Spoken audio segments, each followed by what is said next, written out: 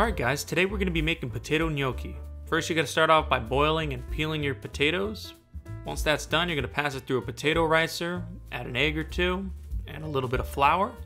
Mix that well and your dough is done. You're going to roll it out into a log, cut it into small shapes, and roll them on a fork. This helps collect the sauce later on. Speaking of sauce, we're going to be using Roma tomatoes and cherry tomatoes today. A little bit of garlic, gonna slice that thin, throw it in a pan with a little extra virgin olive oil. Then you can throw in your tomatoes, let those reduce down a bit.